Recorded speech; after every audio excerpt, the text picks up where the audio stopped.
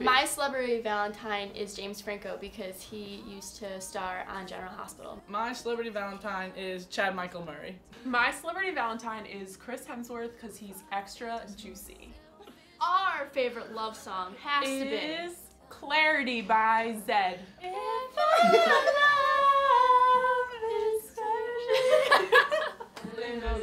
The when it starts to snow. Only know you love her when you let her go. Yeah. This is recording! My ideal date might be to do something a little fun and different, you know, not something out of the ordinary.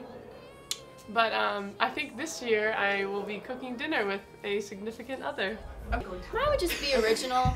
If, I, if we didn't have a game, I would just go to a dinner and a movie. If we didn't have a game on Valentine's Day, I'd probably be sitting on my couch watching Netflix. If we didn't have a game today, I'd probably just be laying in my bed.